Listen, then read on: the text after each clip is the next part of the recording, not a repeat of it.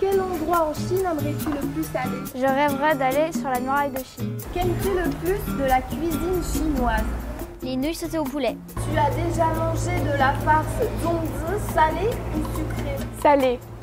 Est-ce que tu aimes le panda géant de Chine Oui, je trouve que c'est un très bel animal et je sais que pour beaucoup, c'est un symbole pour la Chine. Apprendre aux petits amis chinois une phrase à dire en français. J'aimerais leur apprendre à dire Bienvenue à Paris.